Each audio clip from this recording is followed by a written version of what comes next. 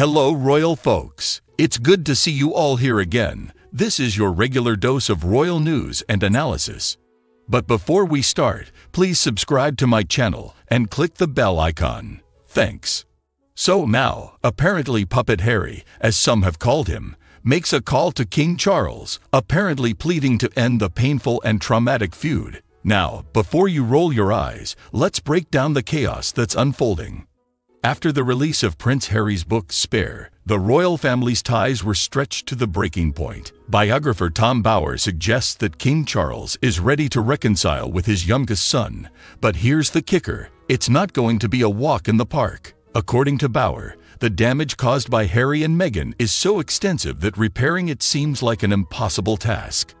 In the realm of tell-alls, Harry's various revelations portray his relatives as less than welcoming to Meghan Markle. And just when you thought the dust was settling, enter Omid Scobie's new book, Endgame, reigniting the royal racist scandal. It's like a soap opera with more twists and turns than we can keep up with.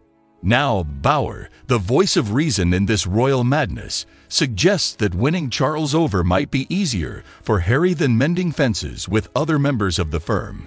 Why? Well, according to Bower, Charles is an emotional man who, as a father, was pretty close to Harry. It's almost as if the puppet has found a way to pull the strings of the mastermind. But hold your horses. It's not as simple as a heartfelt father-son reunion. The insider scoop suggests that Charles has laid down some ground rules. Meghan and Harry must agree not to speak ill of the royals again. That's a non-negotiable if they want to find their way back into the royal fold. After all, it would be a shame to see them kicked out for a second time.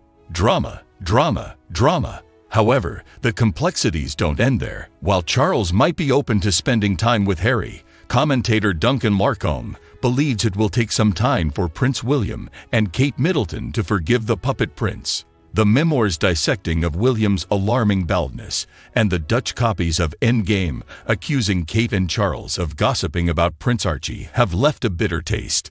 Now, here's the kicker. Harry's approval rating in the UK took a nosedive after his move to the US. But, as Larcombe points out, Queen Camilla managed to evolve in the public eye despite her cheating scandal. So, is there a way back for Harry? Larcombe suggests that anything is possible, but at the moment, it's pretty unthinkable.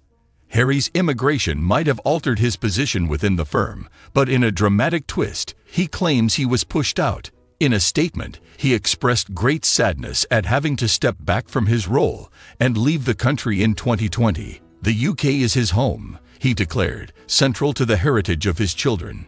As the royal drama continues to unfold, we're left on the edge of our seats, wondering if Puppet Harry can truly mend the rift with King Charles or if Meghan's victim game has run its course.